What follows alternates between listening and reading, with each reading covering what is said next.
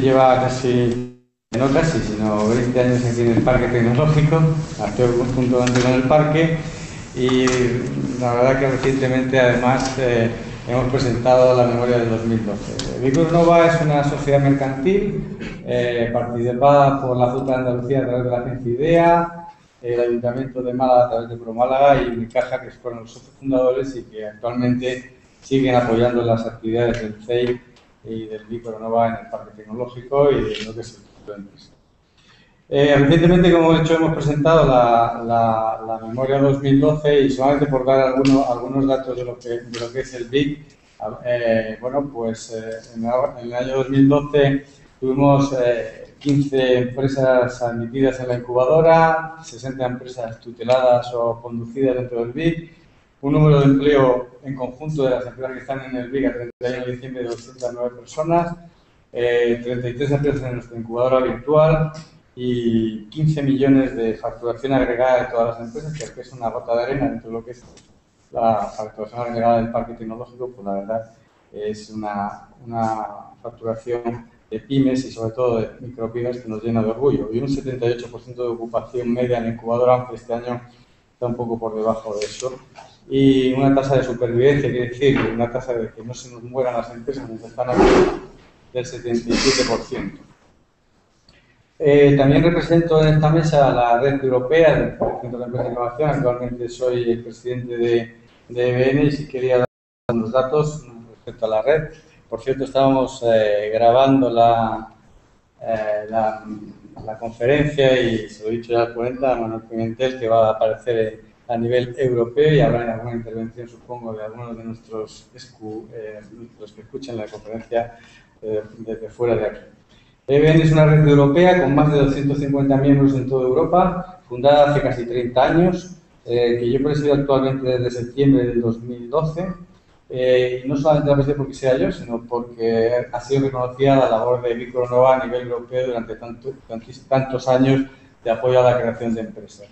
En el año 2012, la red europea EBN eh, apoyó la creación de 5.500 eh, startups pequeñas y eh, apoyó también a 15.000 empresas ya instaladas en su proceso de innovación. Esto generó aproximadamente unos 20.000 empleos de alto valor añadido a nivel de la red, con lo cual estamos hablando mm, de datos agregados que dan valor no solamente al CID de Málaga, sino a todos los CIDs españoles y europeos. Y mm, justamente a la entrada hablaba con Manuel Pimentel sobre la, la inversión de dinero uh, público en estos, eh, en estos instrumentos y a nivel agregado, pues eh, en el 2012 eh, la, la, inversión por puesto de trabajo fueron 11.000 euros y 7.800 de financiación pública. Lo que la contribución a la creación de empleo de alto valor añadido y la inversión es relativamente una, una ecuación muy, muy rentable.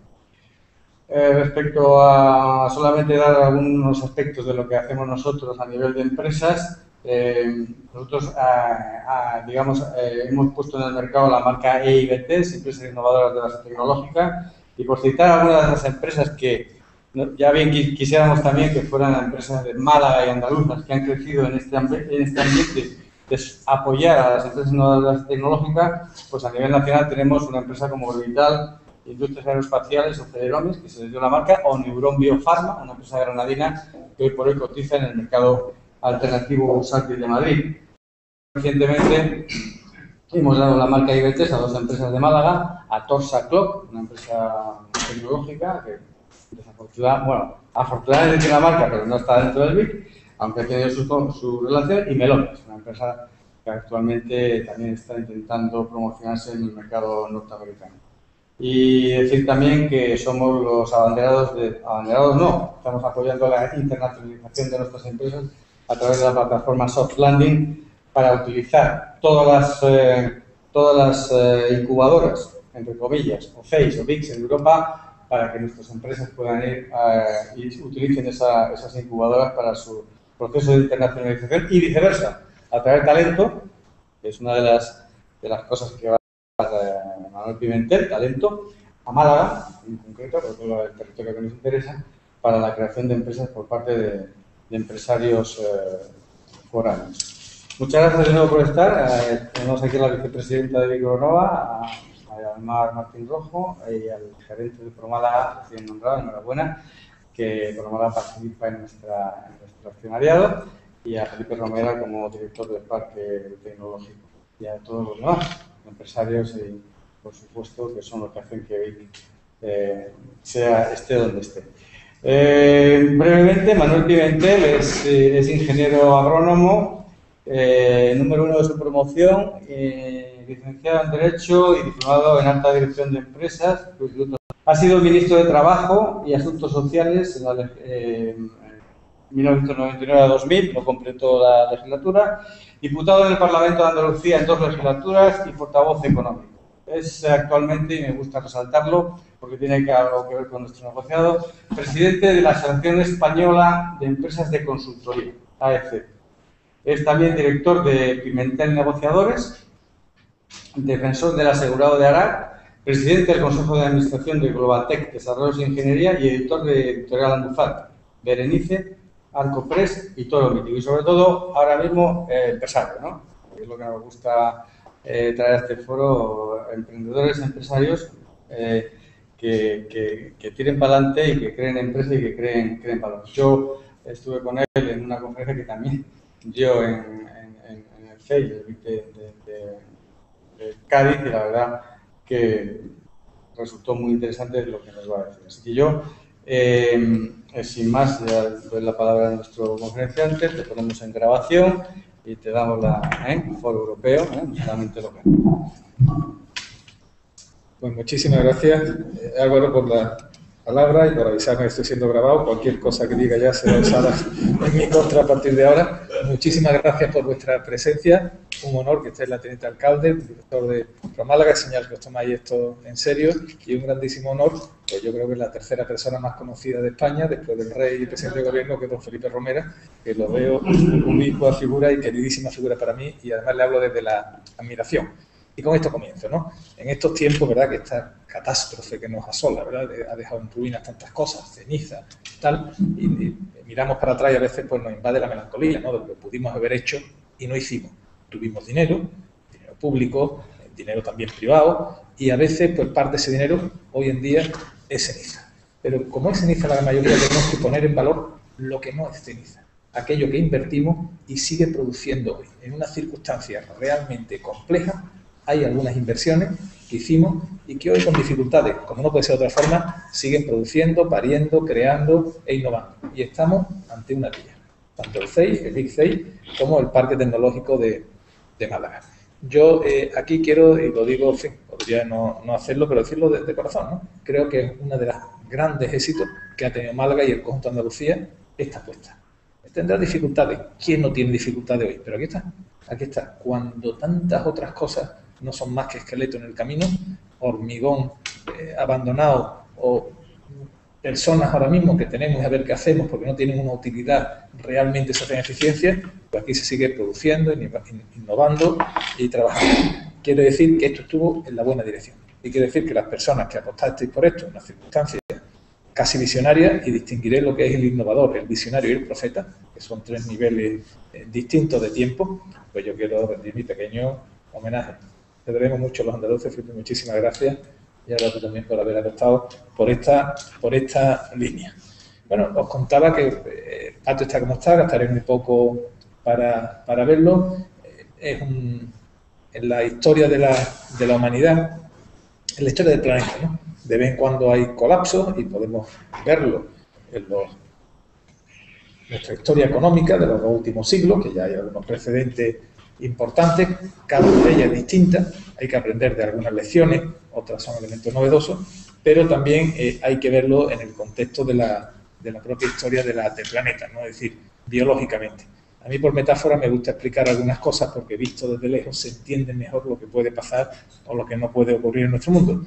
Eh, la historia de la Tierra es una permanente evolución, van adaptándose, surgen formas de vida distintas a lo largo de los miles de años y como las empresas que se crean son organismos vivos, los que tenemos ya años de experiencia en crear empresas, dirigir empresas, eh, no podemos dejar de asombrarnos de la realidad que tienen como cuerpos vivos, adquieren personalidad propia, más allá de la voluntad de su director o de sus trabajadores o de toda la configura, tienden a resistirse a morir, eh, prolongan su, época, eh, a veces si saben aceptar en su adaptación, triunfan, y si no, no. Y en el fondo es un ser vivo que vive en un ecosistema, un ecosistema que hay que entender, donde con el que intercambian bueno, bienes, servicios, financiación, mano de obra, las relaciones en general que tiene una empresa con su contexto social y económico. Bueno, en el fondo es como un ser vivo, y de los seres vivos podemos aprender mucho.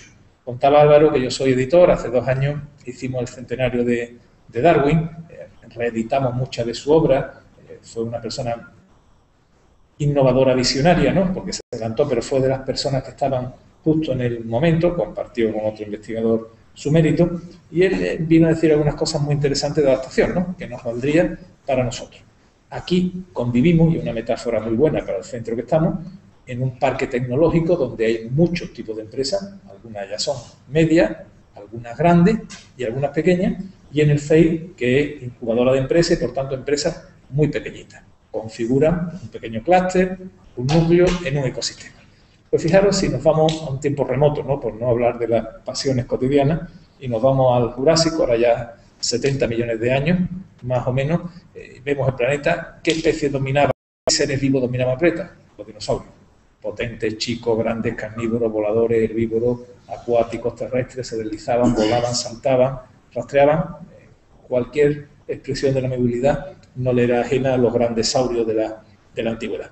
Bueno, pues entre todos estos grandes dinosaurios destacaba porque era el, icono que hemos hecho ahora, ¿no? el más fiero, el más grande, la formidable máquina de matar, el coloso, ¿verdad? Que era el tiranosaurio rex, quien no tenga en su casa, tenga primo, hijo, sobrino, muchos muñequitos del tiranosaurio rex que tiene la primera piedra. Todos eh, convivimos con este monstruo que popularizó Spielberg en aquella película tan divertida del Parque Jurásico. Bueno, pues en aquella época, justo cuando estaban los dinosaurios, apareció, nos dicen, el primer mamífero, que fue una musaraña pequeñita, una ratita ancestral que había por allí, eh, perdida, tímida, muy escurridiza, porque claro, en aquel mundo de bestias colosales, pues, era algo tembloroso, ¿verdad? Una realidad trémula que estaba por, allí. Claro, si tuviéramos una máquina del tiempo y fuéramos para atrás y miráramos al formidable tiranosaurio Rex y agacháramos la cabeza y viéramos la ratita pequeñita, diríamos, ratita, ratita, qué poco futuro tiene. Va a venir cualquier bicho de esto, te va a pegar un pisotón y capú. Tú y la estirpe de mamíferos que puede, puede venir detrás tuya va a finiquitar.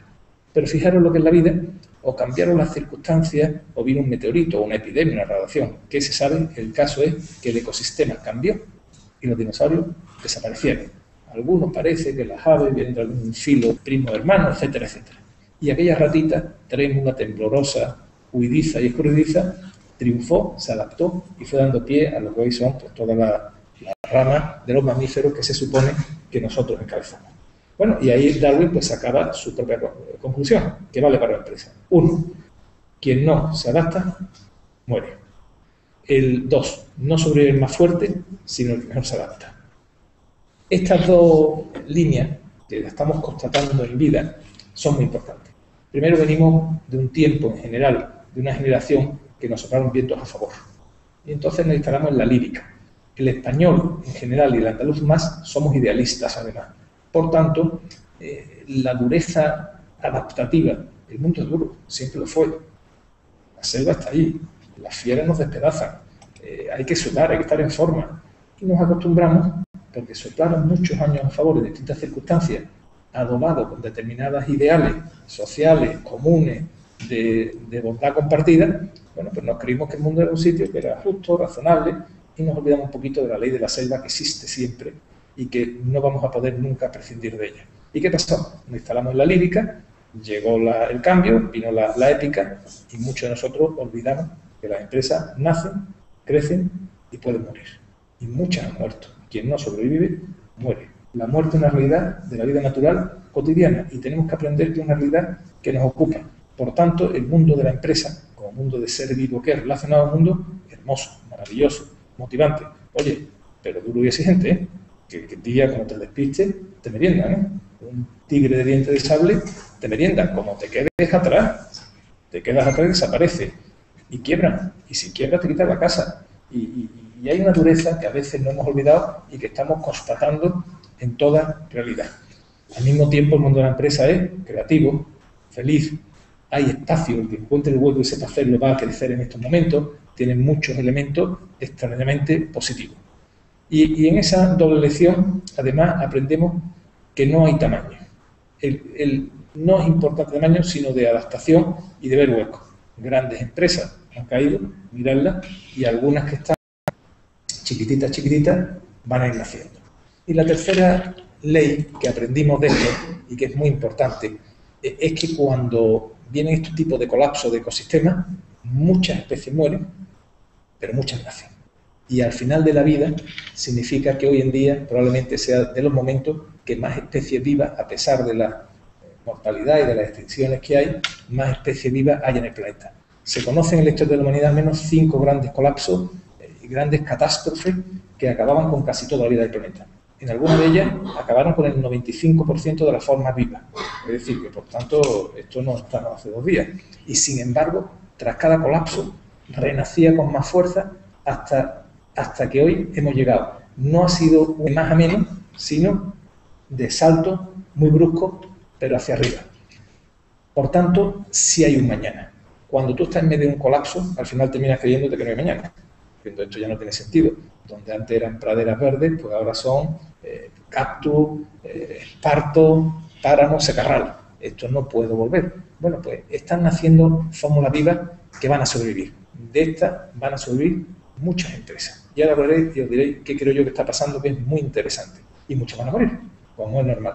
Y aquí ya viene una bombillita. Y yo hablo a vosotros, ¿eh? a las empresarias y empresarios que aquí, una bombillita de decisión personal. Uno, no creeros que se acaba, ¿eh? que esto es mentira. Esto sigue. Y a algunos baile bien, y a otro baile regular, y a otro mala mía, como dicen los, los catalanes. Pues mentalmente tenemos que decir, ¿dónde quiero estar yo? Parece una tontería, pero ¿dónde quiero estar yo? ¿En los que vamos a sobrevivir y crecer o en los que van a languidecer o morir?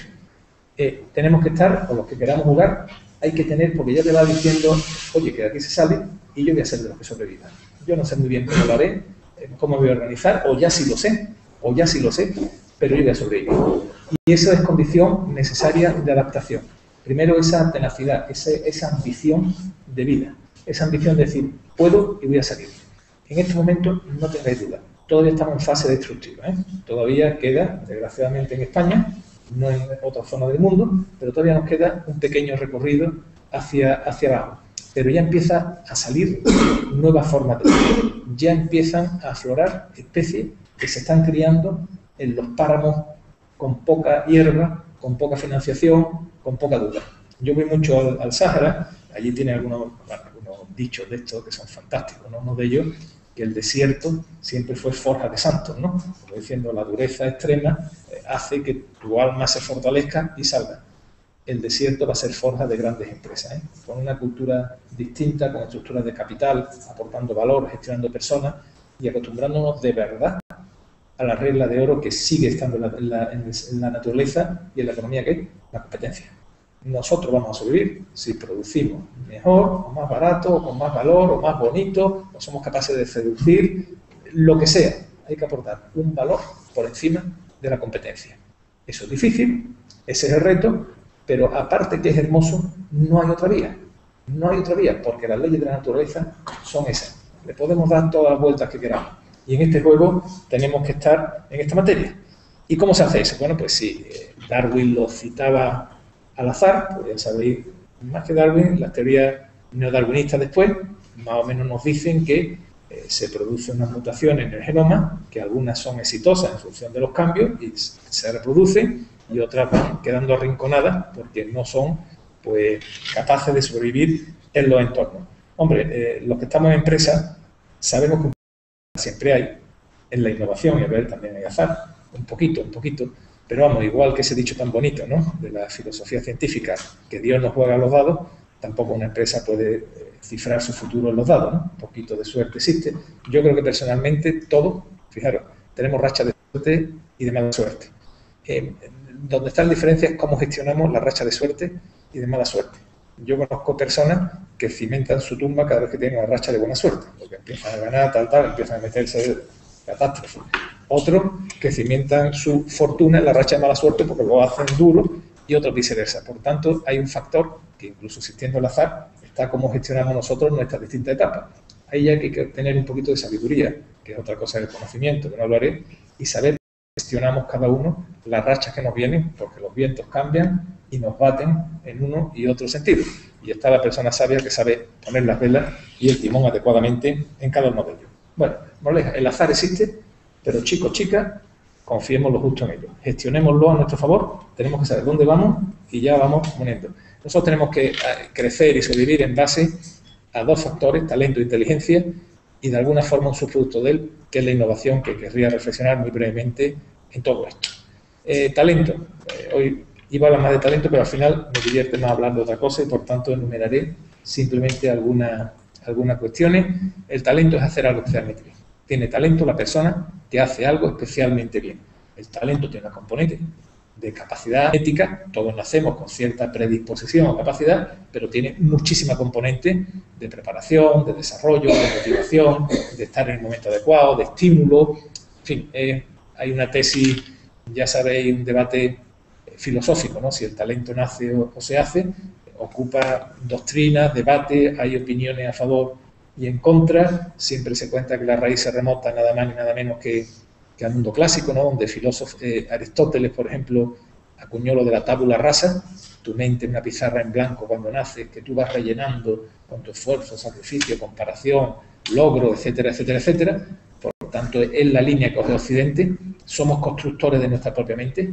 Matado tú puedes con todo. Es decir, tú te haces donde tú quieres, que poco la escuela empírica, lo británico, lo que vive el liberalismo y en la escuela del auto-self-man, que tiene parte de razón, y después está Platón, siempre más eh, rozando lo gnóstico, un poco más socarrón, que él decía que igual que un pastor de Macedonia veía dos golondrinas, después veía otras dos golondrinas, nadie le había dicho nada, sabía que habían pasado cuatro golondrinas, tenía las matemáticas dentro, de alguna forma hay mucho que tenemos dentro y que tenemos que aprovechar. Y por tanto, que eso lo cogen algunos pensadores americanos y dicen que esto del esfuerzo está muy bien, pero que lo inteligente es volcar el esfuerzo sobre aquellas cuestiones sobre las que tenemos capacidad, que es mucho más inteligente eh, optimizar nuestros puntos fuertes y puntos débiles, no pifiarlas, es decir, procurar tenerla a nivel de tal que intentar pues apostar donde no valemos o no tenemos capacidad porque vamos a derrochar mucho tiempo y, mucho dinero. No voy, a dejar la pregunta en el aire, talento nace o se hace eh, y nos quedamos en la doble componente. En parte nace, porque tenemos, cada persona tiene unas facultades y nos divierte en un tipo de cosas, pero en gran parte se hace y por eso, pues, en fin, eh, formación, experiencia, eh, compartir con otros, pues nos va, nos va enriqueciendo. Pero si el talento es hacer algo bien, la inteligencia, que es mucho menos conocida, mucho menos trabajada, eh, en el fondo, y según, en fin, una simplificación, ¿no? pero en el fondo tiene inteligencia la persona que para alcanzar una meta, conseguir un objetivo, resolver un problema, es capaz de construir alternativas y elegir la más adecuada. El talento se demuestra haciendo y la inteligencia eligiendo. Esto es muy importante. Es muy importante. No es lo mismo talento que inteligencia y en el fondo la inteligencia tiene muchas facultades, ¿no? Es decir, razonamiento abstracto, herramientas como la memoria, como la capacidad analítica, sería muy complicado. Pero a la de la verdad, la inteligencia se demuestra eligiendo. Eh, puede ser una persona que se vaya a retirar a las montañas muy inteligente, pero si no lo vemos decidir o no lo vemos hacer, no sabemos si tiene talento o inteligencia. La prueba del algodón del talento es hacer algo especialmente bien y de la inteligencia elegir. Nuestra cultura pondera el talento. Eh, ¿Por qué? Pues el talento tiene buen rollito. Nos da estima, autoestima profesional, nos lo reconocen, ganamos dinerito, vamos creciendo, eh, en fin, eh, va vinculado de alguna forma con la vocación, todo esto con la autosatisfacción, con la felicidad. El talento está bien, ¿no? Y, no gastaré ni un segundo en decir que el talento es sensacional, hay que apurarlo, hay que prepararse, hay que estar musculado y, y me parece sensacional. La inteligencia es distinta. La inteligencia no es fuente de felicidad. De hecho, muchas personas que son muy preclaras, muy inteligentes, sufren desde pequeños porque no están en su contexto, no entienden, tienen otra, otra órbita eh, muchas personas muy inteligentes quedan descolgadas en la, en la vida. De hecho, incluso hay una desconfianza popular, ¿no? Ten cuidado con ese o ten cuidado con esa, que son muy listos, ¿no? Como diciendo a la inteligencia, eh, ten cuidado. Eh, pero la inteligencia cada día es más determinante. Fijaros, yo mis grandes pecados, errores que he cometido en mi vida y fracasos que he tenido, han venido mucho más vinculados del lado de las decisiones que del lado del talento. Eh, yo cada día que pasa, fijaros, dedicamos años y años y años en formarnos para desarrollar el talento. Apenas nos mentalizamos ni nos formamos para las decisiones. Las decisiones las tomamos por intuición, eh, sangre, presión, emoción, porque me dejo llevar. Eh, y a lo mejor has dedicado cinco años a una carrera, el máster, has estado trabajando cogiendo experiencia y tomas decisiones con una ligereza tremenda. En el camino de la vida, yo os aseguro que si hiciéramos una fórmula matemática, fijaros, ¿eh? las decisiones que el talento. Eh, lo hemos visto ahora cuando llegan los colapsos estos. Aquella empresa que tomara una decisión mala, o empiezo en inmobiliario, o eh, tengo una estructura de balance muy endeudado, cualquier decisión que tomaras mala, como la hayas tomado, mientras más talento, esfuerzo, trabajo invierta en esa dirección, peor, más hondo estás haciendo el hoyo, no vas a salir. Es un tema de, camino muchas veces. Eh, y por tanto, fijaros, yo cada día en la, gestión, eh, como nosotros tendemos al activismo, que es muy importante, claro, las cosas hay que hacerlas, el talento hace falta siempre, si no, muerto, ya lo he dicho, ¿no? te come el diente de tigre de sangre que está siempre detrás del próximo matojo. Pero lo más importante era casi nula. Nuestras empresas no tienen órganos de toma de decisiones adecuados, eh, digo, y yo que he cometido los grandes errores ¿no? en, mi, vida, os digo que siempre aprendo porque me equivoqué. Al elegir, al optar, al trazar camino, mucho más que en hacerlo, porque al final el que tiene talento y es trabajador y pone esfuerzo, al nivel que estamos ya aquí, pues talento como la potencia de Rolls se nos supone, ¿no? Muchas veces Y ahí tenéis que pensar qué estáis haciendo estáis dedicándole todo y todas. Si estáis aquí es porque os va la marcha. Es decir, y por tanto estoy seguro que trabajáis más de, no trabajáis de 8 a 3, que en verdad son de 9 a 2, seguro que no. Le echáis mucha hora a la cosa, mucha hora, hay fines de semana, hay problemas. Tenéis que pensar, eso está muy bien, y lo haréis bien. Pero el camino que estáis trazando, la estrategia, ¿es la adecuada? Si es la adecuada, para adelante. ¿Tenéis dudas? Siempre hay dudas, claro, quién sabe dónde está el camino. Pero si no lo veis claro, o estáis, o hacer o lo mirar. Es decir, tenemos que continuamente revisar y pensar mucho la, inteligencia, porque es mucho más importante en el camino, recordad, en las decisiones que toméis que las horas que echéis trabajando. Yo por eso, eh, yo llegué, claro, llega uno que tiene energía, estaba con la ambición del novillero y solo querías plaza, ¿no? Y, el activismo te, te, salía energía por los, por los poros, ¿no? Y, te, entrabas como, el Miura, ¿no? A cualquier capote que te, que te echaban, ¿no? Y eso te hace ver que con los años eh, las decisiones son extraordinariamente importantes. En nuestra cultura pecamos más por el talento. Y reflexionar esto lo que tiene muchísima importancia. De hecho, fijaros, hay un criterio de selección.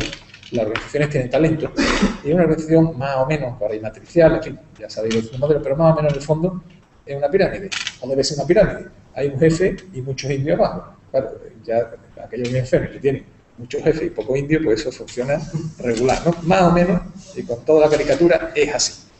Pues mira, a medida en una organización el talento hacen falta siempre.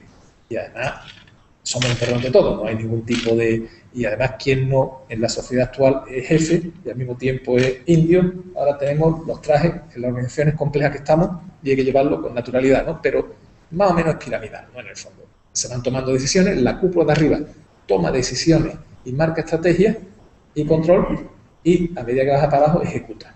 Es importantísimo, si no fuera así no funcionaría. Esto es un organismo, tiene que haber estómago, piernas, cabeza, porque si no, ya puede haber pradera o estepa, estamos muertos. Bueno, pues talento hace falta siempre, pero a medida que vas ascendiendo en una organización, más te van pagando por tu inteligencia, es decir, por tus decisiones, y menos por lo que haces. Yo empecé como ingeniero cuando era muy jovencito, me encantaban los proyectos, creé mi primera ingeniería y lógicamente cada vez hacía menos proyectos porque tenía que venderlos, gestionarlos, relacionarme, eh, conseguir el proyecto, la financiación, es decir, vas haciendo otro tipo de cosas. Y llegas arriba, pues a un consejo de administración o a un consejo de ministros, que me da igual, y realmente se les paga por las decisiones que toman. Y a veces se equivocan. Pero ahí hay algo muy importante la decisión va vinculada con la responsabilidad. Cuando hemos tenido decisiones, cada uno, todos tomamos decisiones en nuestra vida, oye, y se suda, ¿eh? Y cuando se pasa mal, ¿eh? eh y ahí hay, y además la responsabilidad vinculada con el conflicto. Yo veo que las personas en la vida, en la sociedad, hay factores de suerte, tal, tal, pero esto es como un densímetro. En distintos ámbitos, la sociedad ya no es solamente unidireccional, son, es muy compleja, ¿no? Pero en cada uno de estos ámbitos, puede ser el económico, el sentimental, el académico, el deportivo, me da igual, hay, hay muchos, ¿no? No se puede, en general hay unas densidades. Y, de forma casi espontánea, pues las personas más, unos se quedan abajo, otros flotan en función de las capacidades. Bueno, porque hay varios criterios que en general yo veo las personas que van subiendo escala. Uno, soportan responsabilidad, la gente se quita la responsabilidad por medio, hace el líder al que toma la responsabilidad, eso es muy importante. Normalmente la gente, y vas teniendo como tu nivel propio de decisión. Algunos se quedan aquí, otros son capaces de aguantar aquí, y, la misma tropa te va poniendo, ¿eh? porque en el fondo tendemos. Y otro es el, aguantar el conflicto. Es otra característica muy importante la, decisión vinculada a la inteligencia genera siempre conflicto, tienes que tener conflicto, y todos tenemos un fusible. Algunos se quedan, eh, entran en estrés, tengo mucha estrés, ansiedad, tal. Necesito que, por cierto, esto de los ansiolíticos, pastillitas de la felicidad, que están muy bien, pero el otro día leí entrevista casi la mitad de la población ya está tomando ansiolíticos, lo cual nos demuestra que algo no está funcionando demasiado, demasiado bien, ¿no? Pero bueno, el caso es que hay como una resistencia al conflicto y los fusibles van saltando. Para ir subiendo tienes que aguantar la responsabilidad y tienes que soportar el conflicto. Que esto del estrés está muy bien, pero tú no te puedes permitir estrés. Es decir, y ahí, ahí eh, se ve clarísimo, ¿no? Eso, va, eso daría para otra tesis doctoral, lo quito, pero es muy interesante. Además tú lo percibes. ¿eh? Estas cosas eh, se, van, se, van, se, van, se, van, se van notando. Bueno, pues ya tenemos talento e inteligencia muy importante, muy importante en el empresario día a día. Y después hay algunas cosas que tienen su punto de diversión, pero que son muy importantes y porque quiero terminar en innovación, ¿no? que es los conceptos de, de inteligencia emocional y todo esto. ¿no? La inteligencia también es lo que se demuestra los test de inteligencia, también, el tipo de inteligencia muy complejo, pero hay inteligencias sociales, eh, emocionales, etcétera, etcétera, eh, que configuran pues, ese mapa. ¿no? Y ahí el gran gurú, el que lo puso de moda, fue Daniel Goleman, que escribió el libro de la inteligencia emocional, que, en fin, supongo lo habré leído porque está muy bien y, lo cuento muchas veces porque siempre me ha hecho mucha gracia desde que leí el libro, me, se me quedó a mí aquello. Y, él más o menos, que era un científico, pero en principio su investigación a mí me pareció una auténtica chorrada, por eso me digo, fíjate, el hombre se acordaba de, de su clase, de cuando hacían, y, y, se molestó el hombre ver primero su clase cuál quién eran los niños listos, los listas, y cómo le dieron la vida, y de ahí, pues, él esbozó su teoría. Y yo me acordaba, yo soy de, de EGB, de la primera generación de EGB, no sé si habrá aquí algún cincuentón como yo de aquella, que fue una revolución pedagógica, ¿no? Aparecieron las fichas, los trabajos en grupo, todo aquello que era como revolucionario. Estudié en colegio de curas, los curas yeye, todo aquello era como muy, muy revolucionario. ¿no? Y, y, y, una de, de, las innovaciones fueron los psicólogos, los test de inteligencia. Yo me acuerdo cuando me hicieron el primer test para mi madre, nosotros venimos de Algodonal, un pueblo de la sierra de, de Cádiz, mi madre veía aquello de los psicólogos importantes y me dijo, niño, van a venir unos señores que se llaman psicólogos y van a leer tu mente. Aquello de la frase, van a leer tu mente. El niño iba psicólogo, palabra aquel, fijaros, todavía me cuesta pronunciarlo, pues con aquella edad figuraron lo que era aquello. ¿no? Llegaron, nos pusieron los test, las pruebas, no sé si habéis hecho alguno, serie alfanumérica, numérica, una endiablado, figuras geométricas que iban girando, unos palitos que se quitaban, unas manchas así abstractas que tú tenías que ver cosas. Bueno, tú allí con tu lengua afuera, tu honor estaba en juego, intentabas hacerlo bien, total, y te lo dejaban y a las dos semanas te llamaban los psicólogos con tus padres, nada más y nada menos, para ver el resultado del test. Y aquí tienes dos partes. Una soft, que eran las aptitudes, pues tú vales para las artes plásticas, tú para el servicio público, tú para la docencia, para las matemáticas, en fin, esa era la parte amable y tal, y después llegaban ya al arcano, lo que ya dolía, que era el CEI, palabra nunca olvidaré, cociente de inteligencia.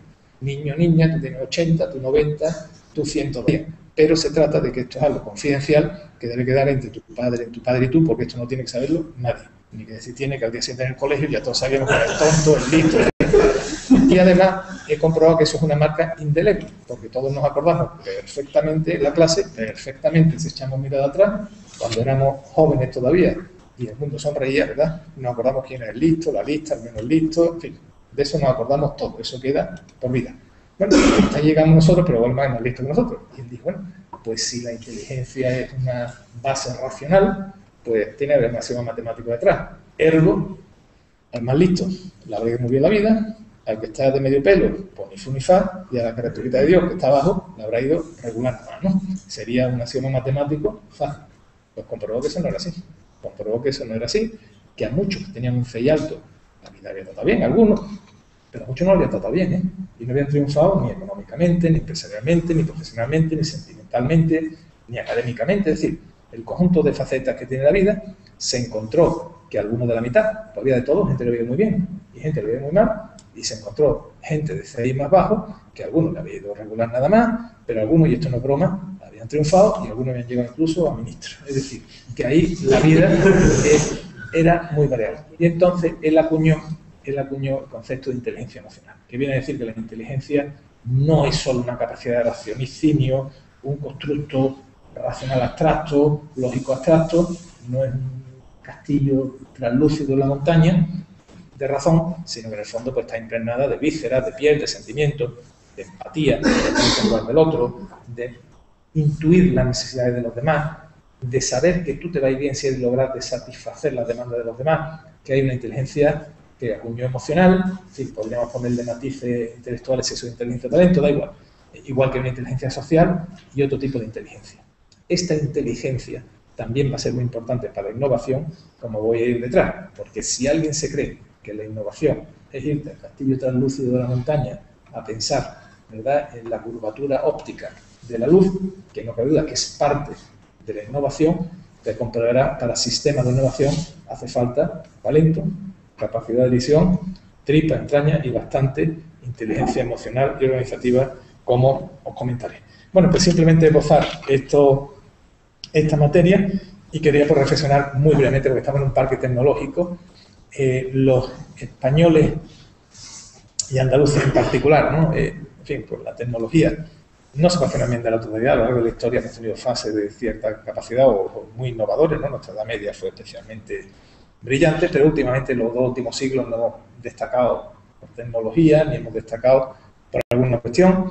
Eh, ya sabéis, y a mí me interesa mucho, tengo mucha afición a la, a la arqueología, ¿no? La historia de la humanidad, ya sabéis que en el fondo es la historia de la tecnología, hasta nuestra etapa, edad de piedra, de piedra pulida, paleolítico, la edad del bronce, del hierro, va marcado por los grandes hitos tecnológicos. Yo ya muchas veces me pregunto ¿no? si la, la tecnología hace la humanidad o la humanidad es la que hace la tecnología. Es decir, eh, si cada especie tiene una capacidad de inteligencia y si no hubiera sido Einstein o Newton o Arquímedes o quien fuera, si no hubiera sido ellos, yo tendría pensado, hubiera aparecido otro. Tiene el mérito individual, pero tarde o temprano alguien hubiera dicho la ley de la gravedad. Es decir, tengo la sensación que eh, los grandes hombres o las grandes científicas no son las que, por supuesto, dan el saltito, pero no son imprescindibles, sino es la, la especie, es la humanidad la que va, nos hace dar los saltos. Pero ese es otro, otro debate, pero tiene su, su importancia porque si tú crees que va a pasar tu modelo innovador científico solo las grandes personalidades, no equivocaríamos. Por supuesto, aportan mucho, pero hay que crear un sistema donde puedan aflorar y sobre todo y cada día más importante, desarrollarse. en la innovación, os decía que quería reflexionar muy brevemente tres niveles, lo que es la innovación, lo que es el visionario y lo que es el profeta. Empiezo por detrás, el profeta, eh, cualquier cosa, una innovación que es, una innovación es algo nuevo, eh, que viene a resolver problemas, que, eh, que debe ser útil para la sociedad y que debe llegar en el momento adecuado. La innovación iré muy simple por no meterme en lo que es ciencia básica, lo que es muy resumidamente. ¿no? La innovación tiene que tener, por tanto, dos características. Debe ser adecuado. Una innovación sería hacer un balón de fútbol cuadrado. Sería una innovación. nadie lo hace, por tanto, podríamos patentarlo y ponerlo en el mercado. Probablemente, salvo alguna floristería que le pusieran flor encima, no venderíamos. Por tanto, ¿es una innovación o no? Sí. ¿Es útil o no? No. De alguna forma nosotros cribamos mentalmente la innovación hacia lo útil. Ya ahí hay algo que es muy importante. Eh, si tú, y después vinculado al tiempo, eh, tenemos que salir siempre un poco antes, o sea, cuando ya las demandas de la sociedad está surgiendo, todavía no hay respuesta, ser el primero que la da, anticipándolo un poquito, es donde está el gran valor. En el neolítico ya se conocía el petróleo, porque el petróleo en algunos lugares mana, y, no valía ni para antorchas porque echaba mucho humo. Eh, contexto para hacerlo. ¿Qué quiere decir? Que quitando, y quito la parte de ciencia teórica, que es fundamental e imprescindible, no, no, no hay nada, pero en nuestro nivel de empresa, la innovación tiene que ir asociada a satisfacer una demanda de la sociedad. Hay una, una inteligencia, una inteligencia en verlo y saber por qué, por qué está, que aporte valor, o sea, que no solamente es lo nuevo, no solamente hacer lo, nuevo, y que además llegue en el momento adecuado. estamos en algunos centros, eh, para hacer un parque tecnológico hace falta conocimiento, visión, estoy aquí hablo de visión, y, llegar en el momento adecuado. El segundo nivel de la innovación ya, el que va más allá y se anticipa es el visionario. Siempre que somos visionarios corremos un riesgo muy alto, porque esto es entrópico y lo que hoy vale, a lo mejor tu visión es correcta, pero ha cambiado no sé qué mariposa que mueve las alas por aquí cuánticamente aparece por allí. Esto es muy fluido, muy, muy móvil y, por tanto ya he aprendido a no cuestionar las visiones desde el punto de vista teórico, sino sencillamente, chicos, pues pudo haber sido, pero no ha sido. El visionario es otro nivel. El visionario solamente es muy bueno y solamente tiene que dosificar los tiempos, porque tú debes hacer las inversiones, que ya es algo concreto, recursos muy escasos, justo en el momento, y hay muchas empresas eh, que veo que se pegan tortazos porque han, empezado a mover ficha antes del momento. Son visionarios, al final del tiempo le ha dado la razón, pero llegaron pronto o se metieron en inversiones demasiado pronto. Ahí le faltó inteligencia del momento. Tenían su talento, tuvieron la intuición y lo hicieron. Y ya después está el profeta, que el profeta ya a veces acierta y a veces no. Seguimos vendiendo a Nostradamus, por ejemplo, porque dice no sé cuántas cosas, o que ya habla de tan largo plazo que a veces pues eh, es un nivel que siempre hace falta, porque la humanidad necesita en perspectiva distintos escenarios, pero que se nos va un poquito de nuestro mundo. Nosotros deberíamos estar en la república, ¿verdad?, que está entre la visión y la innovación. Ese es el campo que se mueve el empresario, que también hay algunos de visiones proféticas. Claro, y en este tema, que es muy importante en nuestro talento, hay personas que son más visionarias que otras. Hay personas que son capaces de innovar porque detectan la, demanda y van más rápido, y otros que tienen alma de profeta. Ya cada uno eh, hay. Tenemos que ver dónde estamos. Si somos visionarios, lo que no podemos es ponerle talento a la visión sino lo que hay que hacer es escribir libros, asociarnos, empezar a explicar y contrapesar nuestros grandes logros con. Eh, yo me dado cuenta que lo que son químicamente puros, las personas brillantes en un camino, lo que tienen que hacer urgentemente es o ser contratado por una persona, incorporarse a una organización o crear una organización que contrapese. Normalmente las personas muy brillantes, y he visto muchas, tienden a despreciar a los demás y creen que su brillantez, su fulgor, que es unidireccional y que puede ser bueno, le es suficiente para crear una empresa, una visión. Está condenado al fracaso. Algún genio puede salir, pero normalmente no basta solo esa visión. En una empresa de innovación esa visión es poner el el 15, el 20, el 30, el 40, me da igual. Es una fracción. Después hacen falta dos cosas más. Una, que estaría dentro del conjunto de los talentos científicos, productivos, estéticos, que es desarrollarlos oye, yo tengo esta visión, sí, sí, que tiene razón, y, ahí está, pero claro, de eso hay que llevarlo cacharrito, a un servicio. Eh, hay que diseñarlo, eh, parirlo, hacerlo, ahí viene otro tipo de talento. Y, que a veces se pueden tener la doble dimensión, o a veces ya hay que formar equipo, alguien que vea por dónde va, pero alguien que tenga la cabeza de hacerlo. Y después está una tercera parte, que es muy importante, muy importante, muy importante, que es el de la tenacidad, que es la persona que crea empresa eh, lucha con el ecosistema, busca financiación, aguanta a los socios, al genio lo medio tiene atemperado, eh, que es la parte de tenacidad y que tiene mucho que ver con talento social, etcétera. Este parque tecnológico, Felipe, hay de todo. O sea, tú, si has triunfado clarísimamente y tienes un liderazgo nacional en esto, porque en tu caso tienes la visión, tienes la capacidad de meterte, pero tienes la tenacidad, el pastorear la tropa, las empresas, las administraciones que tienen toreo, en las finanzas, etcétera, etcétera, etcétera. Ahí entonces, uno, yo que veo muy importante, eh, eh, porque todos tenemos rasgos, ¿no? Y también me pasa, es decir, yo soy especialmente bueno en algunas cosas y especialmente malo En otras hay que contrapesar, hay que contrapesar. O entras en organización, porque claro, una organización sí puede permitirse tener visionarios. Si es grande, tiene. Una, una organización puede innovar y equivocarse a veces, porque aquí tienes que ir prueba y error y equivocándote. La investigación, la innovación va siempre en frontera y por tanto, entonces hay algo que sí es importante y veo muy frecuente el error, y en España todavía no tenemos, porque somos muy individualistas en esto, que nos creemos que la innovación la asociamos con el invento. Es decir, eh, o el invento, o el descubrimiento, le queremos poner nombre, eh, queremos llevarnos nosotros, y ya más allá del trabajo de equipo universitario, que está muy bien, eh, para hacer empresas de innovación, esto como la, ¿verdad? como el ser humano, ¿no? metafísica, tenemos cuerpo y alma. una empresa de innovación no solamente es la innovación, es mucho más y tenemos que aprender pues pues agregarlo y hacerlo. Y aquí, ¿qué podemos hacer como Andalucía? En Andalucía nuestro entorno eh, es una tierra especialmente árida para las empresas, es decir, yo estoy por toda España y trabajo con empresas de España, tengo empresas en varios sitios de España, en Andalucía donde es más difícil trabajar.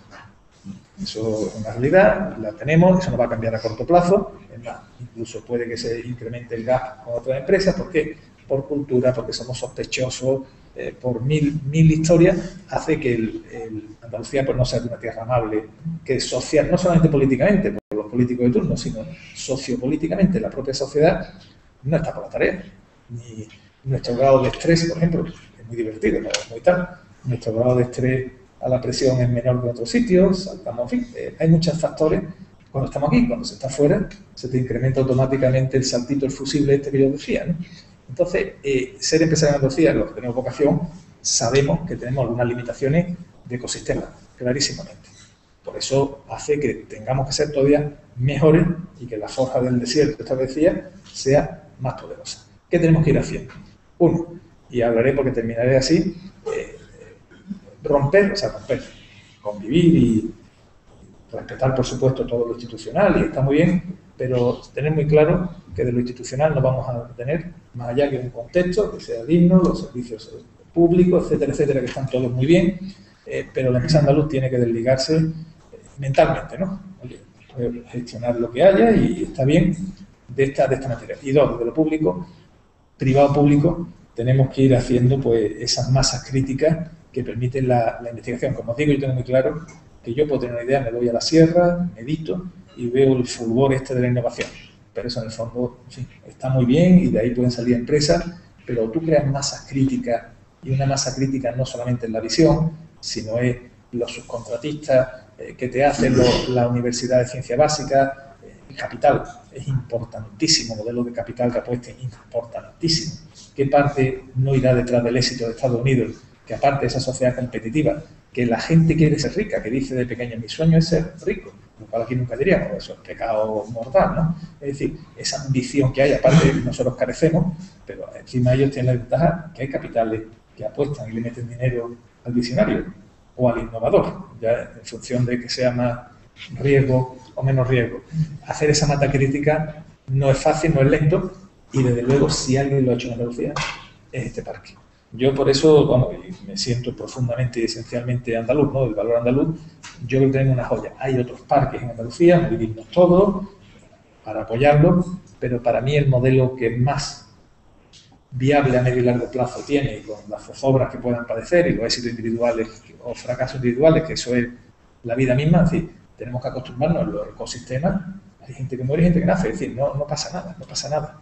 Eh, claramente es el parque tecnológico, ¿no? Y, y Felipe, chico, te toca la responsabilidad de mantener esto impulsado, ¿no? Lo ha hecho bien hasta ahora y, en estos momentos porque es el eje donde se está intentando por lo menos crear un mismo clúster y además en un contexto sociológico, político, menos adverso para la empresa. En Andalucía hay dos terrenos, la costa de Málaga, el interior es igual más o menos que cualquier otro sociológicamente, sociológico político, y Almería, ¿no? El resto son provincias que están muy bien, hermosas, que me encanta, pero el contexto no quizás no sea tan eh, adecuado, tan favorable para crear estas masas críticas de, que haga que las distintas fases de empresas innovadoras eh, puedan, puedan cubrirse.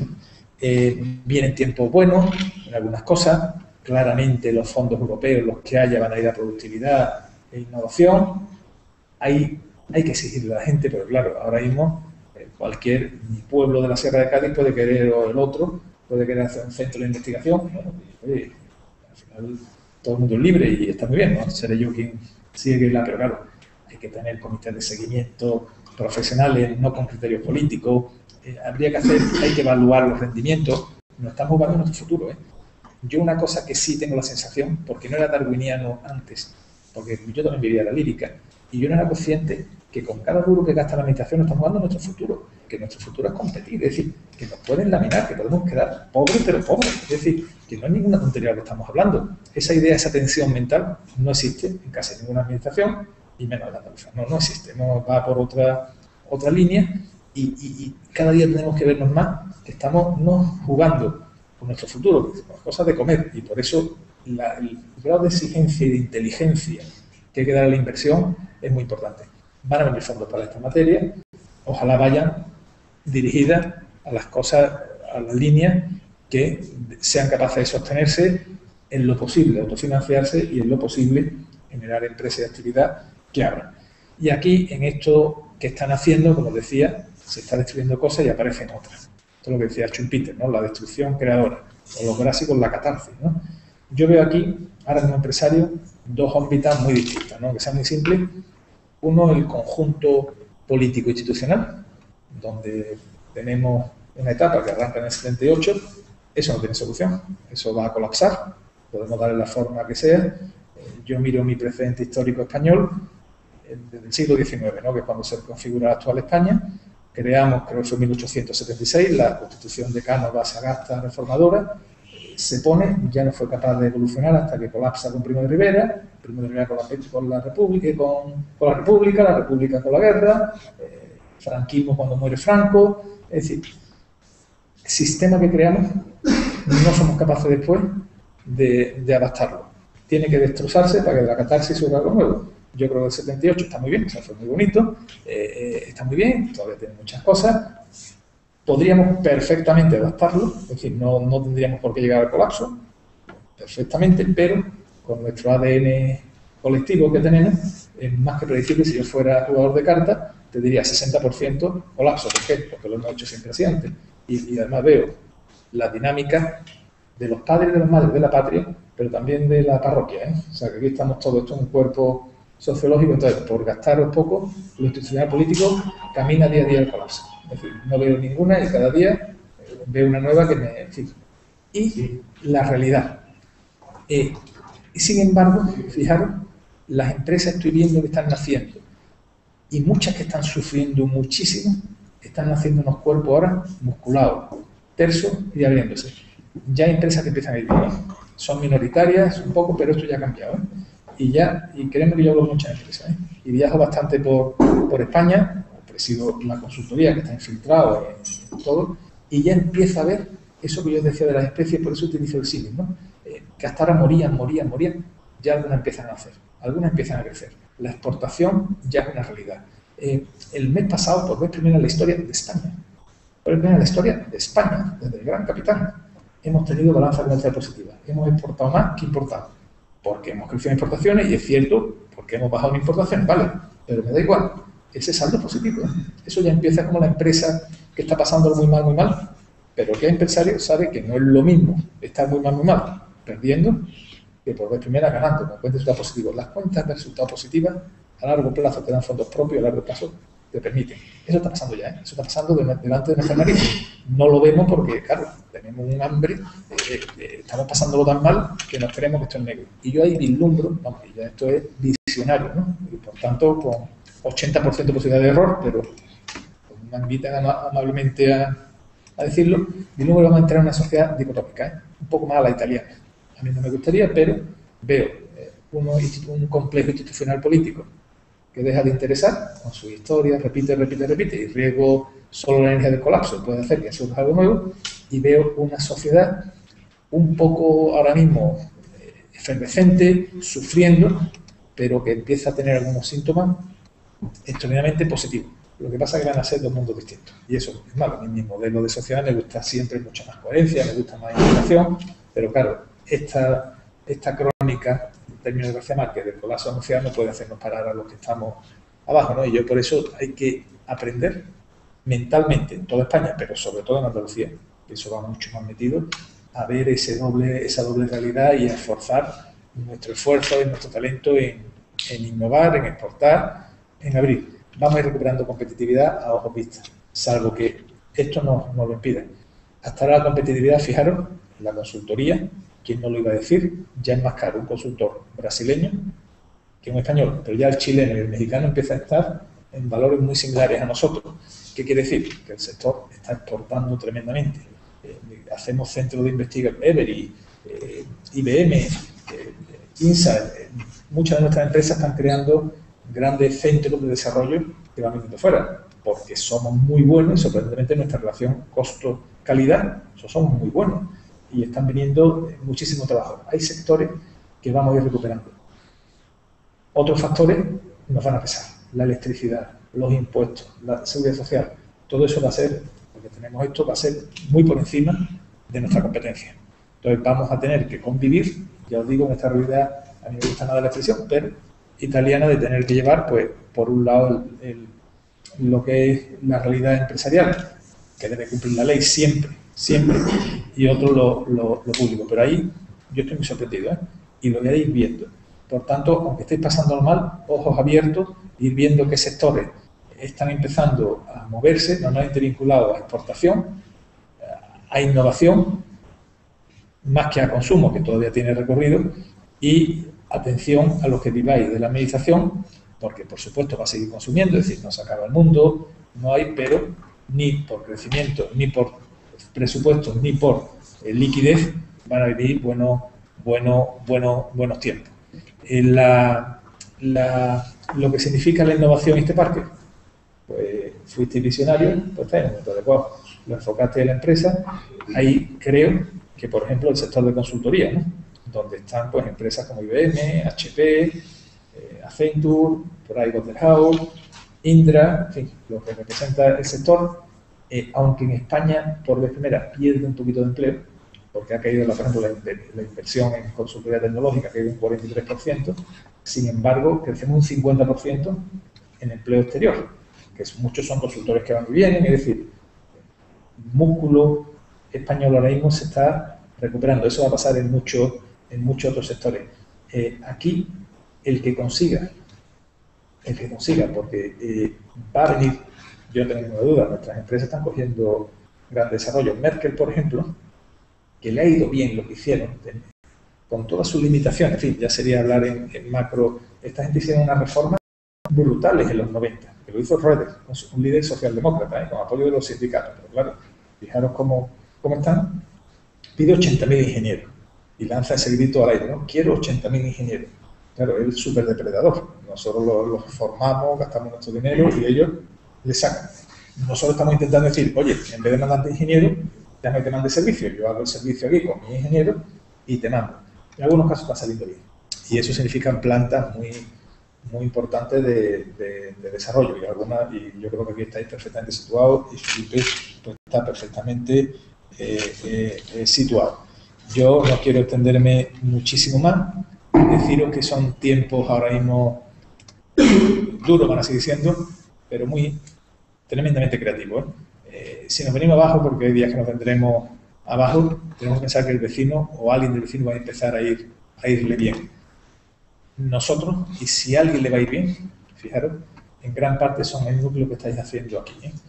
A la agroindustria, que es el sector más tradicional, la puede incorporar innovación, le va a ir bien también hay varios sectores tradicionales en Andalucía, el turismo va a mantenerse, pero quitando la tercera pata, probablemente esté aquí y esto sí va a ser economía cierta porque va a tener una vinculación muy abierta al mundo. Os agradezco muchísimo vuestra paciencia, os reto a vuestro talento, vuestra inteligencia y vuestra inteligencia emocional para que seáis capaces A, de sobrevivir, pero B, sobre todo tengáis la ambición de crecimiento tener empresas grandes, empresas con gente, ser poderosos, que no pasa nada, que no es pecado, que tenemos muchas pymes que son dignísimas, pero que ojalá hagamos muchas empresas grandes y que tengamos la ambición de la innovación, el crecimiento y la riqueza, porque al final la riqueza de la empresa es la riqueza de toda la sociedad. Muchísimas gracias.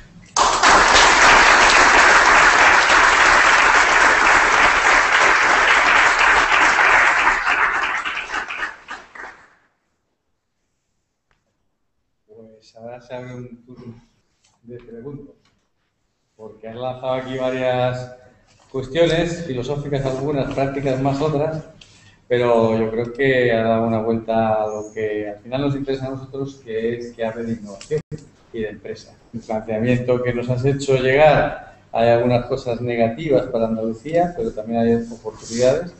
Yo creo que ahí podemos nosotros efectivamente profundizar, pero bueno, abre un turno, un turno de preguntas para, para nuestro ponente.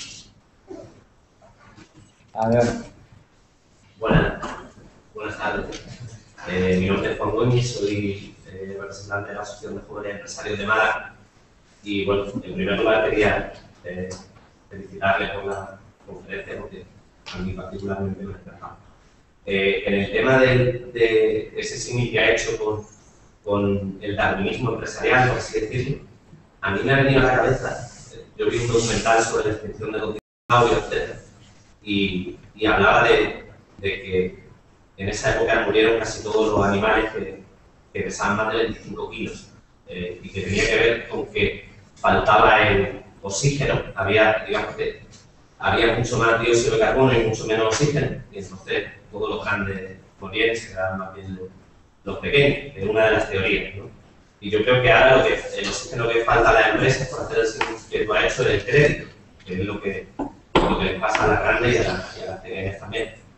Porque para, para apalancar hace falta un mínimo de apalancamiento. Entonces, eh, quería preguntarle eh, cuál cree usted que es la fórmula eh, para luchar contra esta carencia ahora, que es la carencia de crédito que, que tenemos todas las empresas para crecer.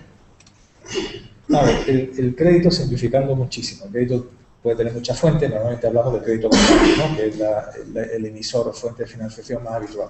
El crédito bancario, a lo bestia, ni está ni se le espera. ¿vale? Es decir, por empezar por el final, los bancos, que su activo ha crecido porque están prestando mucho dinero en un, en un contexto muy desfavorable en algunos temas, pero en otros muy favorable, que tienen barra libre de liquidez en el Banco Central Europeo, como sabéis, tienen mucha liquidez porque pueden retirar la que quieren casi gratis y se dedican a prestárselo al Estado o al conjunto de Estado, administraciones públicas, a un 4 o un 5. Eso es lo que es y te lo cuento, no va a cambiar, ¿vale? Es muy difícil que a Talleres García Hermanos le den dinero cuando se lo dan al Estado español que todavía tiene más, más. Hasta ahí podríamos estar de acuerdo, bueno, pero es que del dinero que tienen dado empresas y familias, no solamente que no crezca, sino que disminuye. ¿Qué quiere decir? Que están drenando dinero, ¿vale? Eso no va a cambiar a corto plazo. En el pienso de este año y el año que viene no va a cambiar. Eh, es más, en algunos casos hay dos temas, uno que me preocupa, dos que me preocupan muchísimo. Yo te voy a hablar de la razón quitada, ¿no? Es decir, yo no salga después del streaming este por donde quiera, ¿no? Eh, hay, hay dos temas que me preocupan muchísimo. Uno, las refinanciaciones, sabéis que muchas empresas han podido sobrevivir porque han ido refinanciando deuda. Hay una orden del Banco de España donde van a recalificar estos préstamos, van a provisionarlos brutalmente, van a pedir garantías reales, han podido mantenerse más o menos con ese oxígeno, no es quitarle nada, pero pues vamos a ver otra etapa de dolor, ¿vale? Y ahí si estáis refinanciados, ir pensando, ir pensando que la próxima ya, ni con el piso de la abuela ya, ¿eh? Entonces, atención, que eso a mí me preocupa mucho porque un porcentaje de economía está refinanciada. Y eso se va a complicar muchísimo. La institución pública eh, también. Eh, dos, eh, cara al crédito, ya en Andalucía, ya es difícil en general, por eso digo el contexto, por eso os digo tanto, lo hacéis aquí porque realmente está esto, por ejemplo, de la vivienda social, que tiene su, que está muy bien socialmente y todo esto, pero no, yo estoy en reuniones con banqueros que me han dicho, que está muy bien, pero que ya prestan a Andalucía eso de la explotación de uso, todo el lío este, hay poco dinero, ¿no? no venido a Andalucía. ¿Qué quiere decir? Digo para que sepamos nuestro ecosistema. Hacemos siempre, porque ponderamos mucho los valores sociales, que están muy bien, es decir, pero tú tienes que optar, o valores sociales tal, o hacemos empresa y tejido. Y, Andalucía siempre, a corto plazo, va a optar por este tipo de... porque está muy metido en el, en el, no solamente en el político, sino en la propia sociedad, ¿no? Y eso hace que el contexto, en fin, vaya a ser divergente con otras tierras, ¿eh? Yo en esto, desgraciadamente, creo que vamos a tener que hacer núcleos de excelencia, ¿verdad? Más empresas y instituciones, pero el contexto es, en Andalucía la financiación va a ser más difícil. Cada aventura de esta significa no dudarlo, ¿eh? No dudarlo, que se lo dan pues a una empresa vasca, que tiene más garantías, claro, eso es así, Y ya le puedo decir, no ni en serio. Ahora, chicos, ¿qué hacemos nosotros? Por eso somos aquí, pues tenemos que luchar. Uno, dar la tabla al banco porque alguno cae, ¿no? Si te ven balance y tal, no, no todo es cero, no es 100 en cero, alguno cae. Dos, clarísimamente, sobre todo lo que empieza, hay que ir pensando en otras fórmulas de financiación, ojalá capital riesgo, ahora mismo capital riesgo está pasando muy mal, porque casi todo está mal, socio, es decir, tenemos que aprender a socio, dos, talento para crecer poco a poco y en recursos, oye, que muchas veces se ha hecho, históricamente se hacía, podemos ir creciendo poco a poco, haciéndolo todo y con los beneficios hasta que cambien tiempos mejor y tenga un poquito de balance, haciéndolo. Eh, es mentira que no se pueda crecer sin... Es mentira que se pueda crecer rápidamente sin crédito, tú puedes crecer lentamente sin crédito, es eh, y, tres, tenemos que acostumbrarnos a, y a bien el talento, como os decía, que vinculaba la innovación a la empresa, a la inteligencia emocional. Pues tienes que convencer a alguien que te ponga el dinero. Que ese es otro de los talentos hacerlo. Claramente la escuela de negocio nos reamos, Felipe y yo, ha sido de escuela de negocio, antes nos decía, mira, cuando los tiempos vienen bien, claro, el, la rentabilidad de tu fondo propio es muy escasa, te interesa mucho más, estás muy apalancado porque trabajas con ese dinero y tienes mucho más rentabilidad, ¿no? Eso sí que son los 25 kilos. Y de hecho nos decía, ahora mismo, ahora mismo, claro, la empresa que le pilló endeudada, pues, con esto os digo, por eso están muriendo muchas, ¿no? Y pueden ser hasta tener cuenta de resultados positivos y haber aguantado. Pero se da en un contexto de los activos son ilíquidos, tú puedes tener, por eso hay que escuchar a los sabios, ¿eh? Hoy una reflexión de sabiduría, me acuerdo Felipe, que es mi padre, el creador de, de Abengoa, un día me dijo, estaba, era muy jovencito, estaba en una reunión, y me dijo, mira niño, eh, lo importante no es lo que tiene, sino lo que debe, porque lo que tiene nunca sabes lo que vale, pero lo que debe es cierto siempre. Y es verdad, tú podías tener ahora mismo solar, piso, y, creerte millonario, porque puedas, y no que fueras un visionario, pero claro, al final eso hoy es líquido, valor, que no es mentira, precio cero, cero y líquido, y sin embargo la deuda cuenta todos los meses porque son valores eh, eh, constantes. ¿Qué quiere decir? Van a hacer una nueva cultura, están haciendo una nueva cultura, pero yo lo percibo como un cambio, que ahora mismo a fondos propios, ir a fondos propios significa ir más lento, mucho más lento. Y ahí hay que buscar, claro, para inversiones para necesitar financiación siempre, pero la componente estructura de capital va a ser, va a ser, va a ser otra. Pero a corto plazo, eh, prepararos, es decir, empezar por el principio, no me van a dar préstamos. A, partir de eso voy a luchar si me lo dan, pues estupendo, y voy a plantear mi estrategia de crecimiento de otra forma. Porque hay que crecer, hay que buscar. Y eso pasa o por capital, de alguna forma entrar en capital recursos propios, o por crecimiento lento a base de beneficios. Son muy lentos, pero muy sólidos. Hay grandes empresas malagueñas, yo colaboro en alguna de ellas, que han ido haciendo, claro, con 25 o 30 años, pues unos balances sólidos, sólidos, sólidos, pero con crecimiento anuales del 5%. Y, esto hace, pero desgraciadamente no, no, tengo, no espero financiación, sino espero todo lo contrario. ¿eh? Eh, tanto por el criterio de Andalucía, que vamos a tener menos dinero que otras tierras, por, por las aventuras que nos metemos, más el, tema de que todavía el sistema va a drenar más el tema de refinanciaciones, que va a ser todavía un poquito complejo. En primer lugar, y en el tema misionario, pues la verdad que lo veo también exactamente igual, pero me duele que, que vaya a ser así, ¿no? Sobre todo el tema sociopolítico que nos ha planteado para, para el futuro o la intercomunicación de, de España, ¿no? Y con respecto a, la innovación, me imagino que también por tiempo, creo que hay dos factores, ¿no? El talento, creo que le tenemos, pero hay un factor que es eh, la educación y otro factor es el, tema cultural, ¿no? de, la asociación de riesgo, por eso a veces es tan difícil lo del tema de, de capital riesgo. Y creo que también deberíamos de, de, incidir en esos aspectos, ¿no? a ver si somos capaces de cambiarlo, ¿no? sobre todo el tema educativo y el tema cultural, que, que es difícil de, de la asunción de riesgos que todavía no, no está muy admitida en nuestra sociedad. De todas maneras, pues yo creo que alguna Sí, no, totalmente de acuerdo. No podía, quería centrarme bien en la faceta de la educación, es fundamental, es fundamental. Eh, la cultura está para mucho cambiarse. Entonces, eh, ¿por qué soy yo optimista en este caso? Porque al final el, el riesgo cuando no hay otra vía vas a tener que tomarlo. Es decir, vamos a convertirnos en autónomos o buscarnos la vida no por vocación o voluntad, sino por necesidad. Y eso hace que sea creativo. Fíjate, los momentos, igual que los momentos de grandes crisis, yo soy muy optimista ahora en la creación cultural.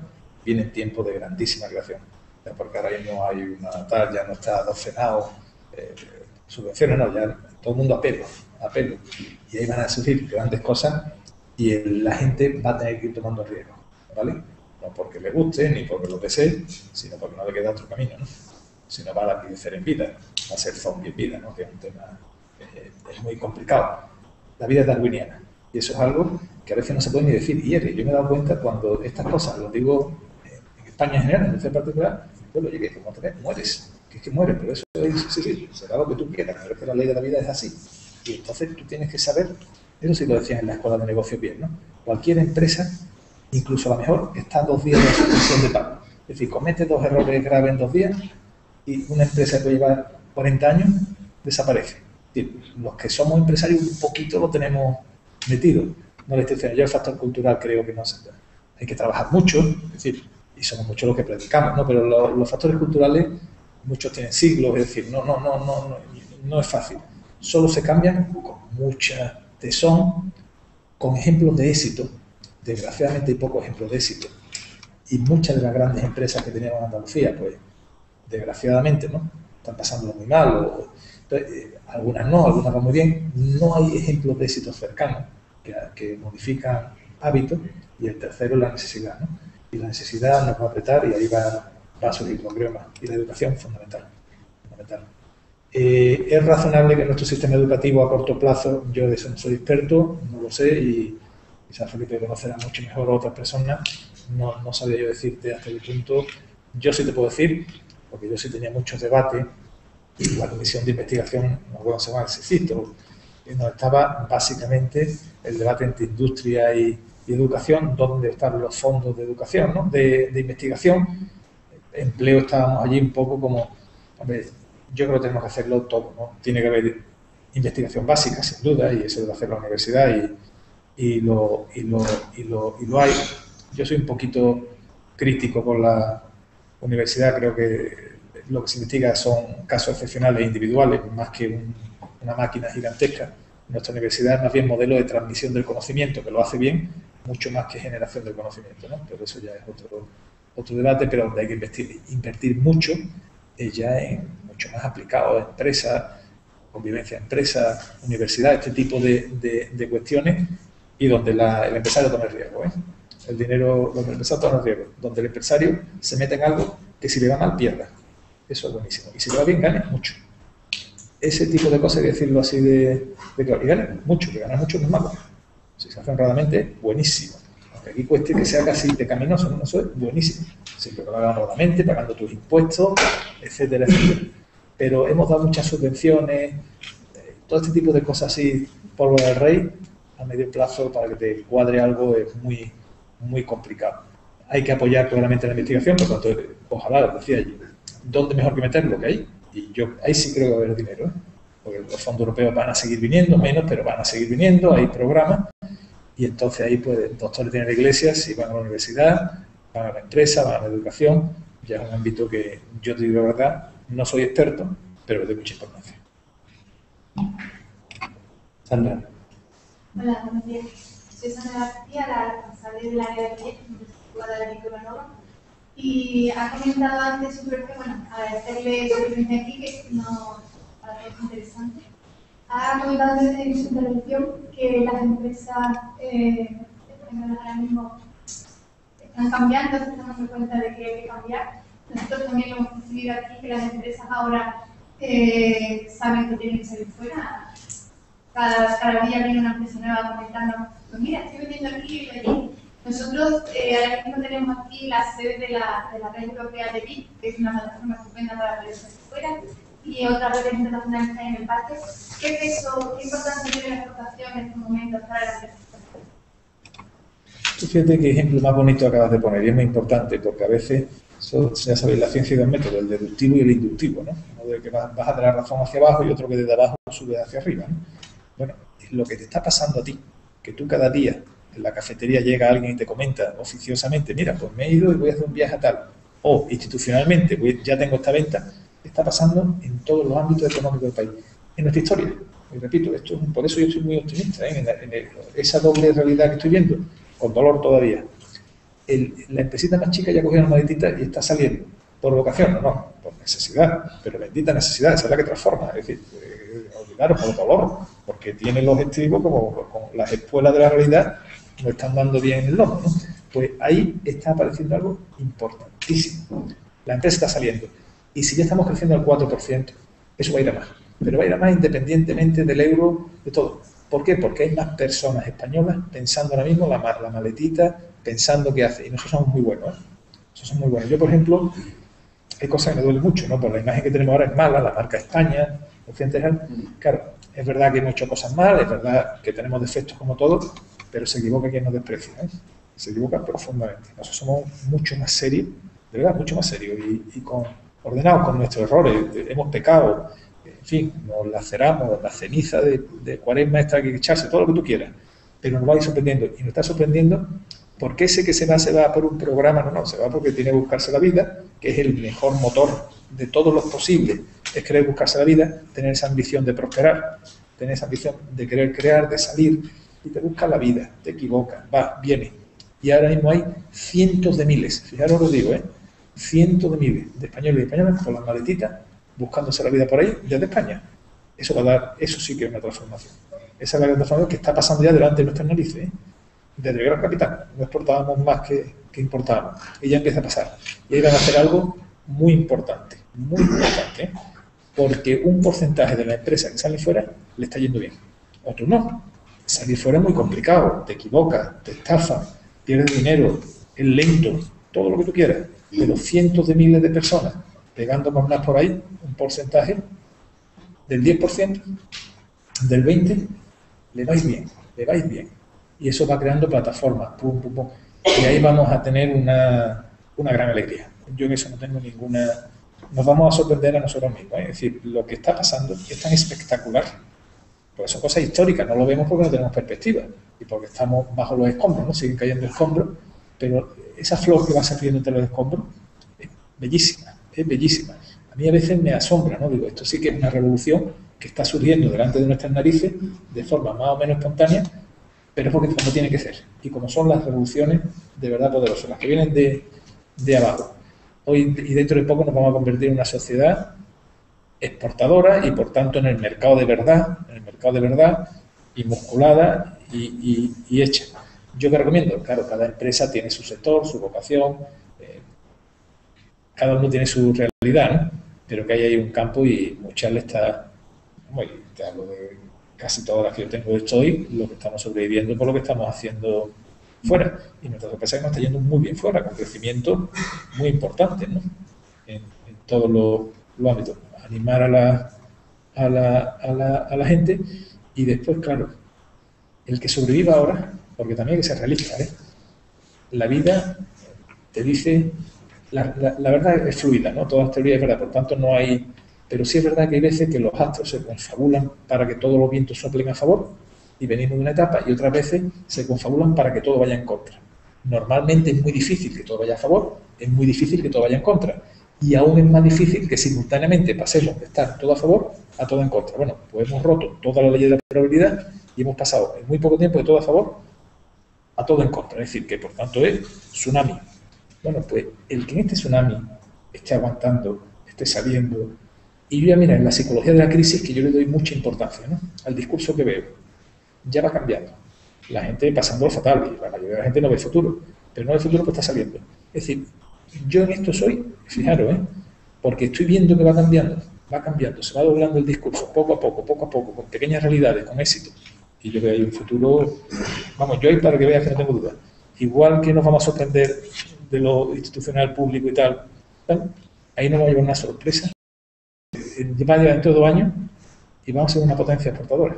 Y nos van a decir, pero bueno, si los españoles éramos tan malos, no, no estábamos, esto era un desastre, van a hacer una realidad delante nuestra y no estamos dando ni, ni cuenta, para que vean mi grado de hipérbole en el tema. Hay una pregunta por ahí de la, del director de la Red Europea de Centros de Empresa e Innovación, que está en Bruselas. ¿La podemos, ¿la podemos poner? Sí.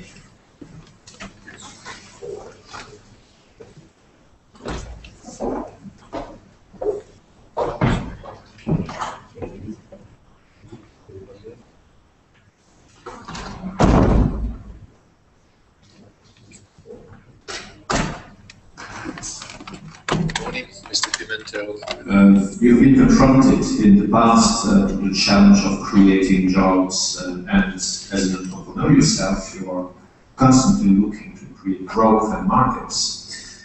We at PDN believe that one of the best solutions for restoring the economy is to better upgrade uh, the entrepreneurship support system instead of fantasizing about the next miracle.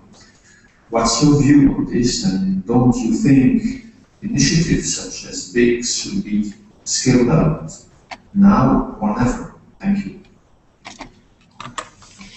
Muchas no, muchas, muchas, muchas gracias. Efectivamente, tenemos o he tenido experiencia en el empleo y en otras materias, pero lo que apunta sobre la, los centros de apoyo a empresarios, innovación, es parte del futuro. Hemos hablado muchísimo, ¿no? Eh, si a esa cosa que está surgiendo de abajo, que os decía que es la gran transformadora, ¿eh? en el fondo, encima, somos capaces de ayudarla, de crear centros de excelencia, porque de apoyarla, porque en el fondo la excelencia son valores que tenemos que volver a recuperar. Somos iguales en derechos, por supuesto, pero necesitamos gente excelente y que tenga compromisos excelentes, rendimientos excelentes. Y, y, yo veo una tarea ahora mismo para todos los centros de apoyo de innovación empresarios eh, fantástica, porque van en el buen camino y en el sentido que, os decía. ¿no? Y yo por eso creo que tiene mucho sentido y que socialmente van a ser extraordinariamente rentables. Y esto al final hay un debate que tenemos que hacernos. Los recursos públicos van a ser muy escasos, muy escasos. Y hay que priorizarlos. Ya no me corresponde a mí, en el fondo es un criterio de priorización. ¿Dónde es más rentable, incluso socialmente, para el medio y largo plazo? Pues nuestros queridos padres y madres de la patria tendrán que, pensarlo. Hasta ahora, pues han ido, yo creo que sin duda ninguna, invertir. Coinvertir, porque el empresario tiene que poner también ellos subvenciones, eh, deberíamos que, eh, hay que huir de todo una filosofía de apoyo distinta y nueva, con corresponsabilidad, y, y con este tipo de centros serían extraordinariamente positivos y, y impulsarían clarísimamente el tejido, la creación de tejido que nos hace falta.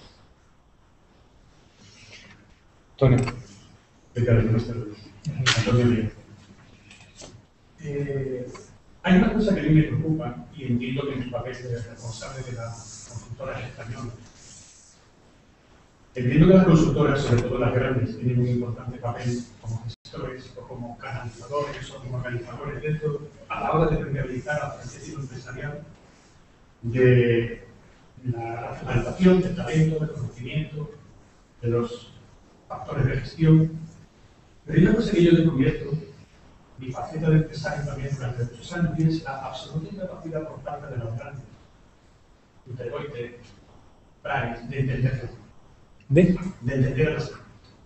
Es una especie de concebirlo de manera diferente, de admiración metodológica completamente como muy calcadas, poco imaginativas, absolutamente desfasadas en costes, muy desorientadas en cuanto a aplicabilidad y sobre todo he descubierto que estas últimas han tenido un magnífico, una magnífica era dorada, trabajando para la administración para votar de, base conceptual para determinadas acciones de la administración.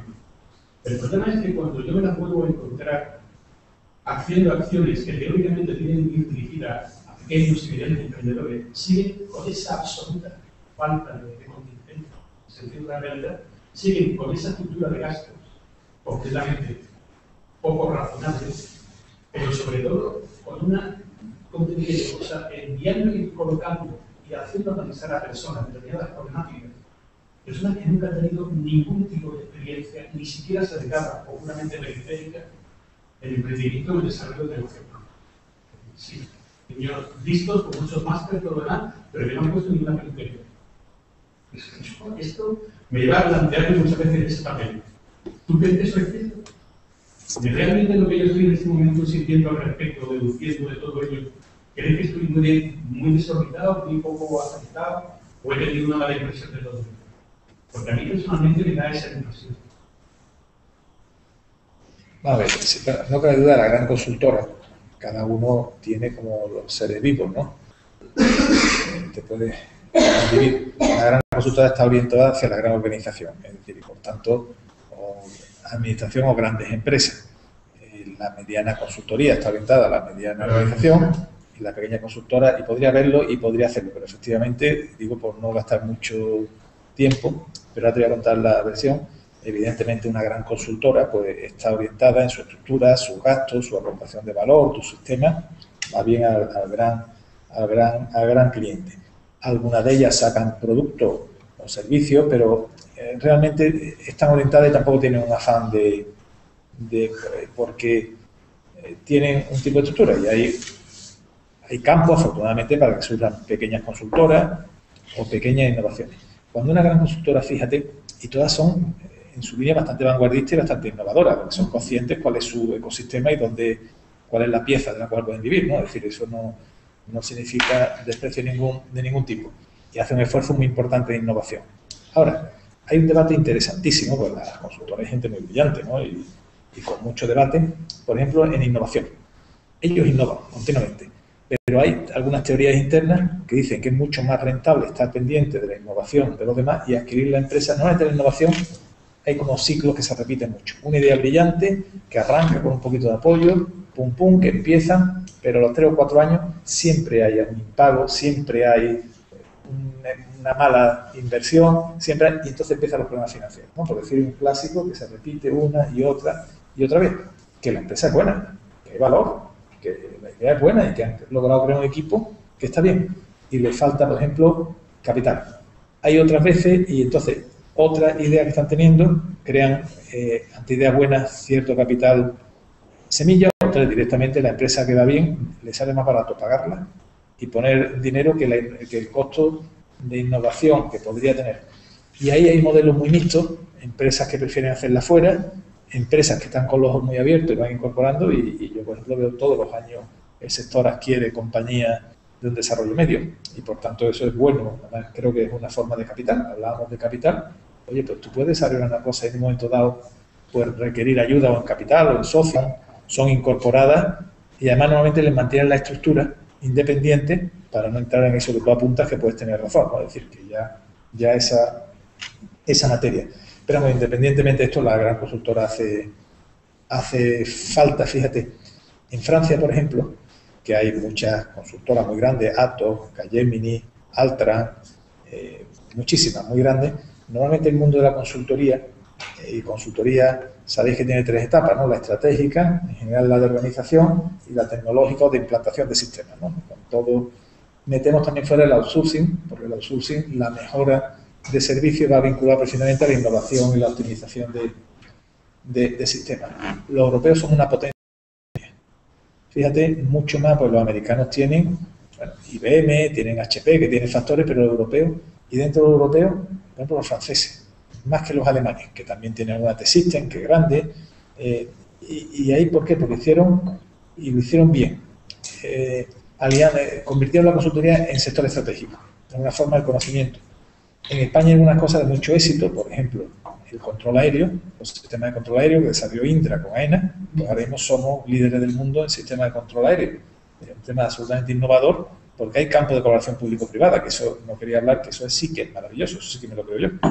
Y eso sí me lo creo yo, porque yo en el fondo es que me creo público. Y, a mí me gusta, como español que soy, cierta coherencia entre lo público y lo, y lo privado. Lo que decía antes lo digo con dolor, ¿eh? pero como juego a ser visionario, para no, eh, y eso hace que la gran consultora sea muy, precisa. Por tanto, eso tiene la lectura positiva y negativa. La positiva que tiene, que hay un campo para que nazcan pequeñas y medianas consultoras que cubran ese hueco que efectivamente existe y que encima pueden desarrollarse, ser muy innovadoras y dar crecimiento. Y estos centros también pueden ser eh, casas ¿no? de consultoras tecnológicas, consultoras eh, de organización o innovación que salgan de, de aquí porque el hueco existe y va a seguir existiendo. Luis, eh, una pregunta complementaria, la verdad es muy interesante pero quería hacer un comentario sobre este modelo pesimista generalizado, ¿no? Político económico, ¿no? Y hay una alternativa que es más pesimista o, más optimista de una transformación por colapso del modelo europeo. yo, yo, soy optimista, es decir, como en el fondo, al final, aparte, yo mentalmente lo que os digo, yo hago antes mi reflexión interna, porque si yo voy hasta donde yo sea capaz de intentar estar entre los que sobrevivimos, ¿vale? Y eso no es fácil, hay que inventarse todos los años y un esfuerzo muy grande, mentalmente, por tanto, ir avanzando y, y, hay, lo europeo también está por construir, eh, por el lado negativo, esto es un desastre, no nos ponemos de acuerdo, los modelos tal, por el lado positivo, bueno, este es un continente que lleva miles de años pegándonos hachazos y bombazos entre nosotros y, en muy poco tiempo tenemos una manera común, que es normal que haya resaca, que es normal, visto con perspectiva, que haya crisis, depende cómo gestionemos las rachas, ¿no? Lo que yo te digo, si tenemos vocación de permanencia o no. Yo, personalmente, yo quiero seguir en Europa, creo que a España le viene muy bien el esfuerzo, el rigor, porque parte de lo que dicen los europeos creo que se equivocan, pero en gran parte dicen cosas de mucho sentido común que nos aportan y que si nos quedamos solos perderíamos ese debate. Dos, Europa debe tener modelos adaptativos, tendremos que ir adaptándonos, evolucionando, avanzando, no tener modelos rígidos y hacerlo. A mí me merece la pena, clarísimo. El tema siempre de los sistemas es, y eso está muy estudiado, si, porque cuando tú creas un sistema creas muchos contrapesos y es complicado. El sistema inteligente, y eso es lo que estamos en lo sabe mucho, es aquel que es capaz de ir evolucionando, que no se bloquea. Y el sistema válido durante una época, pero que le han cambiado las circunstancias y ya no es capaz de adaptarse, colapsa, se crea una energía entrópica y si lo hace bien, nace otro, nace otro sistema. Bueno, a mí personalmente, sea por uno o por el otro, jugaremos la partida. Me gustaría muchísimo más porque es mucho más inteligente, menos doloroso. Te das cuenta que los capitales y las sociedades ricas se hacen por acumulación de muchos años, no por años de fulgor y años de crisis. Es decir, el concepto de que para que nos vaya bien vamos a tener que ir sumando capital, igual que la estructura de balance, nos hacer falta de muchos años una nueva cultura. Ojalá fuéramos ricos en dos años, pero es que esto no funciona así. Las empresas tienen que ir creciendo y acumulando y, nos vendría mucho mejor sistema adaptativo.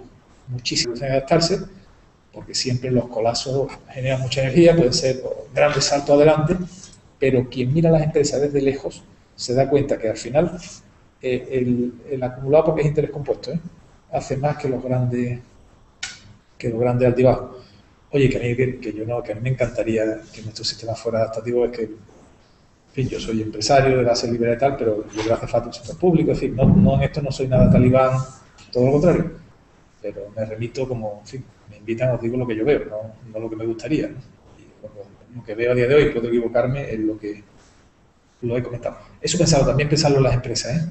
igual vale las organizaciones los modelos ideales son los adaptativos evolutivos, eh, que eso no significa cambiar todos los días y los modelos que se hacen rígidos terminan, terminan colapsando. Algo hemos aprendido en las empresas familiares, porque aquí vais a ser muchos empresarios de primera generación, ¿no? que es algo maravilloso, es un regalo para la, para la, sociedad. Porque en Andalucía hemos tenido muy pocas empresas históricamente y porque mueren y porque... Y claro, el ideal para ser bonito es que la empresa, hombre, el ideal maravilloso, el empresario que la empresa le sobreviva, ¿no? Porque hay algo de, trascendencia. Ahí siempre es legítimo venderla y, oye, y haces plusvalía, o, desgraciadamente no puedes, ¿no? Pero eh, ahí el que hagamos sistemas evolutivos que no, por ejemplo, no colapsen con la muerte del fundador, que sean capaces de, avanzar, que no se autobloqueen en, en endogamia que es muy nuestra, porque, y te hablo de mí mismo, ¿no? Cambiar equipo es muy doloroso, porque al final eh, te, bueno, te encariña, te hace hermano, pero claro, buscar todas esas cosas, los sistemas sean dinámicos, vale para lo político y también para la, la empresa, ¿no? Y siempre mejor la energía adaptativa que la catárquica por colapso. Vamos a ver.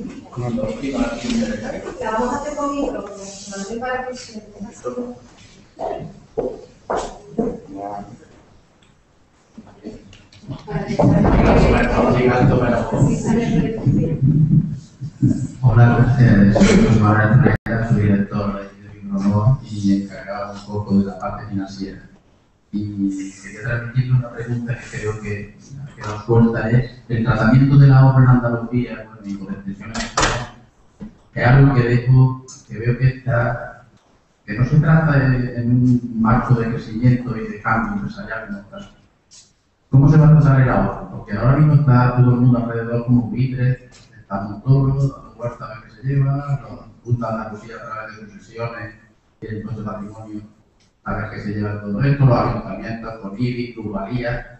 Y la verdad es que la- sin ahorro no, funciona la máquina. La máquina al inversor pues, pone ahorro eh, como servicio a sus inversiones y se lo suministra o, o no funciona. La banca se ha cerrado, antes el ahorro iba a la banca y la banca lo distribuía, ahora eso es imposible porque nadie confía la banca. Eh, la alternativa de inversión inmobiliaria se ha cerrado también, no, no conviene. Y el ahorrador, los ahorradores, todo ese sistema está mismo en tierra de nadie. Y es un sistema básico a la hora de, que esto, que esto funcione. Yo quería saber desde el punto de vista filosófico, como se ha movido esta, esta charla, qué piensas de cómo se trata el ahorro aquí y qué, qué hay que hacer para que esto se dinamice y funcione de otra forma y ese ahorro llegue a los proyectos empresariales. Ahí. Esto sería muy, muy, muy complejo. Me quiero centrar sobre algo importante. Eh, normalmente hemos sido poco ahorradores porque tampoco es verdad diferencia. Son muy gastosos, que sí, pero nuestro nivel de renta, nuestro, eh, nosotros tenemos una diferencia con otras zonas europeas que es la acumulación de capital, que es muy importante. Cuando tú llevas tres generaciones en una sociedad industrial, pues se han acumulado capitales y rentas, ¿no? Solo venimos de una, es decir, y nos falta esa acumulación por tanto nuestras tasas de ahorro eh, es menor. La crisis ha tenido dos etapas muy curiosas. Empezó la crisis y empezamos a ahorrar porque nos asustamos un poquito y a estos últimos meses ya estamos perdiendo ahorros porque ya no tenemos que comernos los ahorros que habíamos hecho, ¿no? Es decir, hablo de, de media. Los ahorros no están siendo bien tratados en general. Eh, has visto, eh, aparte, fíjate, los superdepósitos van a ser sancionados eh, por gran desconfianza, también compiten con los intereses de lo público y dos, se están poniendo tasas. Ahora mismo, a corto plazo, el déficit público tan importante, la- el conjunto de administraciones que hay, que a corto plazo nos van a seguir subiendo impuestos. Es decir, me aterra, pero digo, simplifico, pues lo llevo diciendo hace tres años y voy. La seguridad social por una cosa por otra, Hacienda, los IBI, que es brutal lo que nos han subido, se aplica tasa, que esto es muy divertido, ¿no? Se critica la tasa del ahorro de Andalucía o de Extremadura tal, y al final se termina poniendo en toda España, ¿no? Igual de pavoroso, en fin, ahora mismo el entramado ese que tenemos va a seguir queriendo comida y, estamos trabajando para proporcionárselo a la- al Leviatán, ¿no? Eso a corto plazo no hay consenso sociopolítico para cambiar y, y no, va, no va a ir bien. Además, tu ahorro va a competir con el eh, bancos, intereses que está dando la deuda pública y todo esto, y ahí tienes un sumidero que va a continuar y que compite. ¿no? Ahora, sin embargo, está pasando una cosa, porque la, la vida es fluida, ¿eh? Y los análisis que ya tienen que ser muy fluidos, que al final que estamos viendo esto ahora, vivimos, lo antes una normalidad, pero ahora vivimos en la normalidad, es decir, la normalidad total. Y por tanto, cuando tú miras la perspectiva histórica, periodos anormales son excepcionales, eso no me indica, y hay una cierta tendencia asintótica a cierta normalidad, ¿no? Se te va ajustando. Ahora está pasando una cosa eh, que yo no logro ver por dónde va, porque me superan. Pero, por ejemplo, es esto de los Q1, Q2, tal, tal, la maquinita, en el fondo. Estados Unidos dando la maquinita de forma salvaje. Reino Unido de forma salvaje. Japón, que se ha puesto a darle de forma salvaje. Eh, la Unión Europea no tan salvaje, pero ya habéis visto barra libre para los bancos y a Italia y a España nos han salvado. Nos han salvado, han pedido que cayéramos este, este golpe. Se está creando una masa monetaria ahí brutal, sin precedente histórico también. ¿Por dónde va a salir eso? No lo sabemos. No lo sabemos. Si se percibiera que entramos en etapa inflacionista, los activos volverían a tomar valor. El ahorro iría al activo que es antiinflacionista. Nos podemos encontrar esa sorpresa. Es que no sabemos. Realmente, como esto es tan entrópico, esto sí que es la mariposa cuántica. ¿eh? Eh, observarlo, pues, la gente no está prestando aten- atención porque cree que esto son cosas de... Pero eso termina llegando, claro. Y tú siempre sin estar por la, la sabana, no sabes por dónde te viene o no sabes dónde vas a encontrar el prado más, más verde. Yo supongo que todas estas cosas tan colosales de inyecciones masivas de dinero, de monetizar la economía, va a tener influencia ¿eh? En ahorro y en inversión y en activos. No te sé decir por dónde, porque no soy experto en eso, pero intuyo que lo que estamos haciendo es muy poderoso. ¿eh? Europa a medio plazo va a entrar en cosas muy, muy parecidas porque es muy complicado seguir así y aunque tú no lo quieras, viene la adaptación, no puedes tener el euro hoy está a 1,28, no puedes tenerlo a 1,30, 1,31 porque los que exportamos nos cuesta, ¿no? Es decir, eh, tener en cuenta que fijaros lo que influyen estas cosas, ¿no? Seríamos todos igual de listos y de tontos, pero si se nos pone el euro con paridad 1,1 con el dólar, exportaríamos el triple, tendríamos mucho más empleo. O sea, y éramos igual de listos y de tontos que, que ahora mismo, ¿no? Entonces, yo sospecho que ahí se está formando algo que va a tener bastante repercusión y que influirá mucho en el ahorro. Porque claro, el ahorro en momento inflacionario es terrible. O sea, eso sí que es perder el dinero si entramos, como la teoría económica nos dice, cuando tú metes mucho dinero en el sistema, al final genera inflación, el ahorro tendría otro sobreimpuesto que la inflación. Y entraría en, en activos que fueran antiinflacionarios. Eso puede ser, puede no ser, yo te hablo de lo que dice el sentido común, pero ya esto es tan, tan colosal. Fijaros, para que veáis el ahorro, ¿no? no en España, pero en estos momentos que en Occidente todavía, oye, esto no está muy claro, eh, el euro en riesgo, Estados Unidos que ha metido billones o trillones de dólares y la economía, en fin, va creciendo, un poquito de empleo, pero nada del otro juego. Y sin embargo, las bolsas históricas están en máximo histórico.